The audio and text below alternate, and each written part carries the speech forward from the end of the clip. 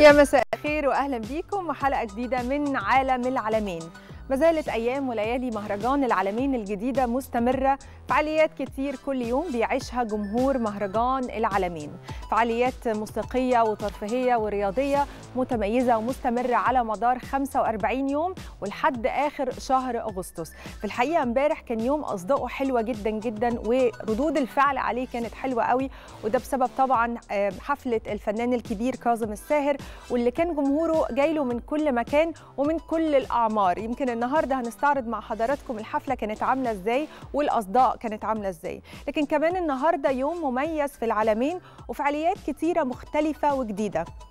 في البداية كده مع الفعاليات الرياضية اللي فيها تنوع كبير بين الفعاليات داخل الملعب وباستخدام الكرة على رأس تلك الفعاليات. النهارده هنشوف كرة القدم يعني على أولوية الفعاليات الرياضية وفي تحدي اقطع مع محمود عبد الحكيم اللي بتنافس فيها نجوم الكرة المصرية مع عدد من المتسابقين على قطع الكوره والمراوغة وتسجيل الأهداف. في كمان بودكاست كده للعالمين اللي هيستضيف أهم النجوم اللي إحنا بنحبهم وبنسمع منهم أسرار يمكن بيقولوها لأول مرة.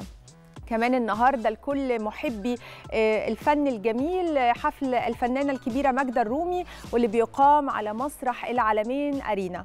بالمناسبة الفنانة ماجدة الرومي يعني مقلة جدا في حفلاتها فالنهارده هتكون فرصة حلوة قوي لكل عشاقها وعشاق الفن الجميل والصوت المميز لماجدة الرومي والأغاني والقصائد والكلمات الحلوة اللي, اللي أغانيها يعني بتتميز بيها إنهم يستمتعوا بأغاني والصوت الجميل جدا جدا للنجمة الكبيرة طبعا ماجدة الرومي. إحنا النهارده هننقل لحضراتكم لحظة بلحظة اللي بيحصل اللي بيحصل داخل مهرجان العالمين والفعاليات اللي فيها. فخليكم متابعينا.